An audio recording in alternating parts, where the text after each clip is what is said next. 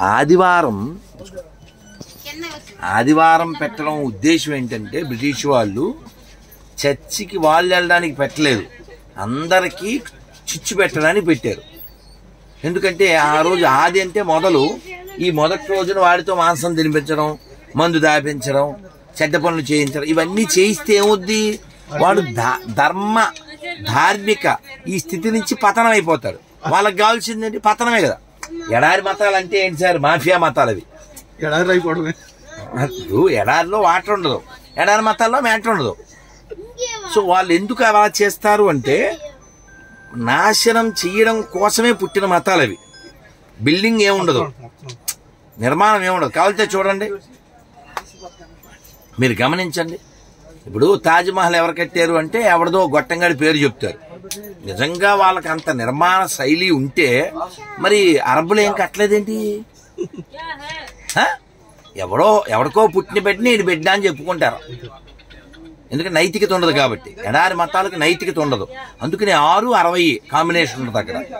తెలుసుగా? Six sixty combination అది అన్నిసార్లు అదే కంటిన్యూ అవుతుంటుంది. అనాదిగా. అందువల్ల మనము ధర్మము. ప్రధానమైనది ధర్మము.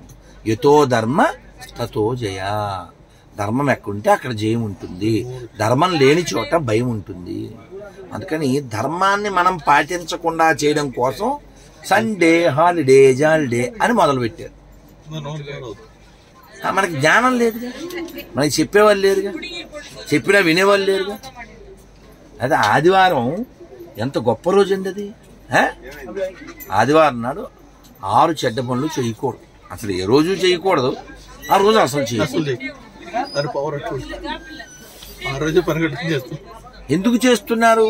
They are taught in such వాళ్ళు అలా వాళ్ళు ఆ విధంగా ట్రైనింగ్ ఇవ్వబడ్డారు నిర్దేశించబడ్డారు. తల్లిదండ్రులకి తెలియంది పిల్లలకి ఎలా తెలుసు అందుకని ఆదివారాన్ని హాలిడే జాలిడే అనకుండా దాన్ని ఆధ్యాత్మికంగా ఆరోగ్యపరంగా గడిపి జీవితాన్ని సార్థకం చేసుకుందాం. ఆ ప్రయత్నం చేద్దాం. హరే ఓం తత్స హరే కృష్ణ. సరే మాల తీసుకొని శ్రీకృష్ణ కృపా ప్రాప్తి భక్తి జ్ఞానం. హరే కృష్ణ.